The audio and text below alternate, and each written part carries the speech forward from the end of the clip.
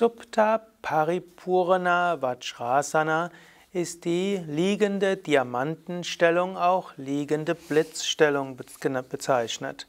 Vom Fersensitz ausgehend gibt die Füße neben die Hüften und Paripurna Vajrasana ist es, wenn du die Zehen nach außen gibst, was auch eine Variation von Mandukasana ist. Dann lege die Arme hinter dir auf den Boden und so hast du Schultern und Hinterkopf auf den Boden.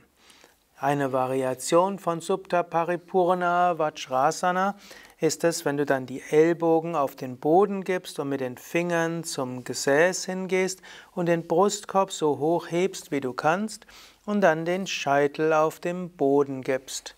Dies ist eine Variation auch von Matsyasana vom Fisch beziehungsweise eben auch Supta Vajrasana in der Rückbeuge.